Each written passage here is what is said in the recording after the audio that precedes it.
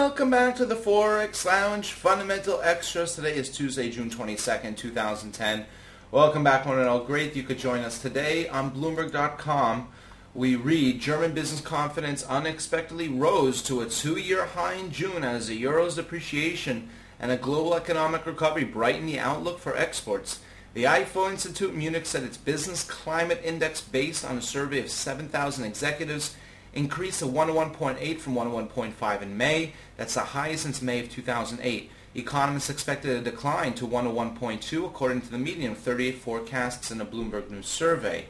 Furthermore, we read IFO's measure of executives' expectations declined to 102.4 from 103.7, while its gauge of the current situation increased to 101.1 from 99.4. So overall a positive number. Let's see how this works out on the charts. The blue line represents the IFO Business Climate Index rising again to a high of 101.8, levels that we have not seen since June of 2008. The purple line, or the violet line, represents the current situation figures rising to a level of 101.1. Again, levels we have not seen since 2008. Certainly good news for the European economy. Now, compare the IFO Business Climate Index, that's the blue line, to its 12-month moving average, which is the violet line. We can see we're well above the 12-month moving average, indicating the current trend in the economy is certainly to the upside.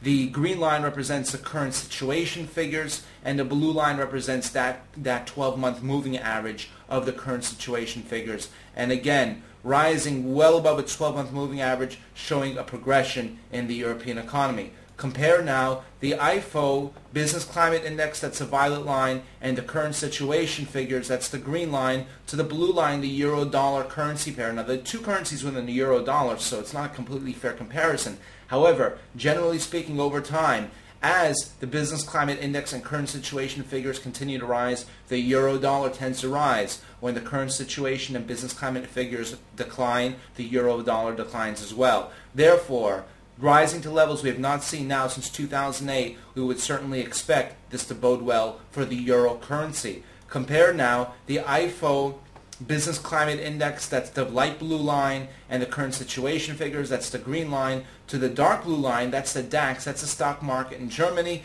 and the CAC 40, that's the stock market in France. And we can see, generally speaking, over time, during prosperous economic conditions, when the business climate index and the current situation figures rise, so do equity markets in Germany and France. When those two figures decline, those equity markets decline as well. And finally, compare the European equity markets. The DAX is the blue line, the CAC is the green line, to the euro-dollar currency pair. That's the light blue line. And we can see, generally speaking, over time, what's good for equity markets is good for the euro-dollar. And as equity markets decline, so does the euro-dollar. So better than expected numbers and numbers that we have not seen for since 2008. Certainly, we would expect this to bode well for the euro currency and as well for equity markets in the European area. With that said, if you have any questions, do not hesitate. Email us anytime, info at forexlounge.com. We thank you for joining us. We wish you a great day, all profitable trades, and we look forward to seeing you back soon.